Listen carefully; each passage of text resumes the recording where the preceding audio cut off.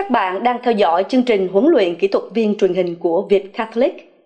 Lần trước Thảo Ly đã trình bày với các bạn những tools của Adobe Premiere. Trong video này, Thảo Ly sẽ bàn qua với các bạn về những keyboard shortcuts có thể giúp tiết kiệm rất nhiều thời gian edit video. Trước hết là Ctrl S. Thỉnh thoảng trong quá trình edit, bạn nên nhấn Ctrl S để lưu những gì đang làm. Đó là cách an toàn để khỏi tốn công làm đi làm lại nhiều lần. Thực ra, Adobe Premiere cũng lặng lẽ lưu cái project bạn đang làm mỗi nửa tiếng hay một khoảng thời gian nào đó mà bạn có thể thay đổi trong menu Edit References. Những versions khác nhau sẽ được lưu trong folder Adobe Premiere Pro Autosave cùng trong một folder với cái project bạn đang edit. Cho nên, nếu có xảy ra trục trặc như bị cúp điện giữa chừng bạn có thể vào trong folder Adobe Premiere Pro Autosave để tìm cái version mới nhất. Shortcut thứ hai Thảo Ly muốn đề cập là những phím Up Arrow và Down Arrow. Những phím này giúp chúng ta di chuyển đến đầu cái clip trước hay đầu cái clip kế tiếp. Nếu có một clip đang được chọn, nhấn Shift Home sẽ ra đầu cái clip ấy, nhấn Shift End sẽ ra cuối cái clip ấy. Nếu bạn nhấn Home, cơ sở sẽ được di chuyển đến đầu clip thứ nhất. Nhấn End để chuyển đến cuối clip sau cùng. Trong khi những phím Up Arrow và Down Arrow giúp bạn chuyển từ clip này sang clip khác. Hai phím Left Arrow và Right Arrow giúp bạn chuyển từ frame này sang frame khác trong cùng một clip. Nếu nhấn Shift Left, cơ sở di chuyển 5 frames về phía tay trái. Nếu nhấn Shift Right, cơ sở di chuyển 5 frames về phía tay phải. Trong video Transitions, bạn có thể chọn một transition nào đó là một cái default transition.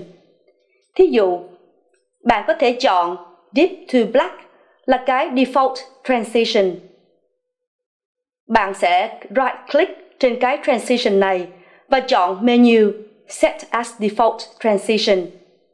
Sau khi đã chọn như thế, ở chỗ tiếp giáp giữa hai cái clip, nhấn Ctrl D là có ngay cái Default Transition này.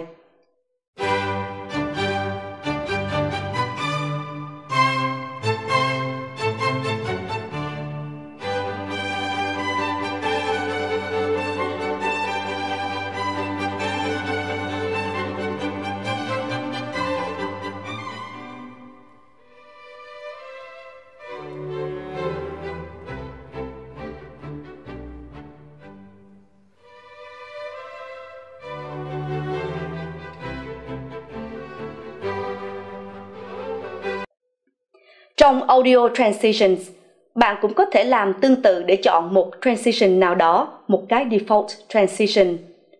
Sau khi đã chọn như thế, ở chỗ tiếp giáp giữa hai cái clips, nhấn Ctrl Shift D là có ngay cái default transition này. Khi muốn tạo ra một copy của cái clip đang edit trên một track khác, nhấn phím Alt xuống trong khi dùng con mouse kéo cái clip đến một track khác khi muốn chèn, tức là muốn insert, một cái clip trước, một cái clip khác. Nhấn Ctrl xuống trong khi dùng con mouse, kéo cái clip đến chỗ muốn chèn. Khi muốn zoom in cái timeline, nhấn vào phím cộng. Muốn zoom out thì nhấn phím trừ. Hai phím này ở gần phím backspace, chứ không phải ở cuối keyboard.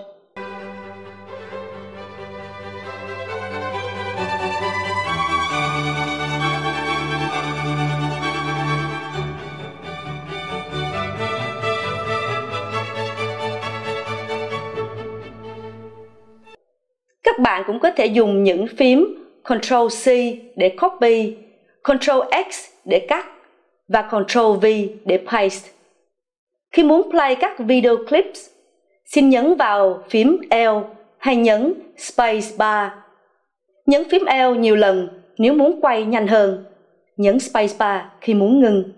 Khi muốn render một phần của timeline, xin nhấn vào phím I, có nghĩa là in ở chỗ bắt đầu và nhấn vào O, nghĩa là out, ở chỗ kết thúc.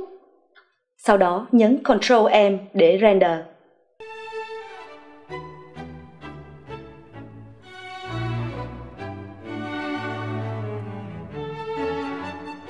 Chúc các bạn thành công!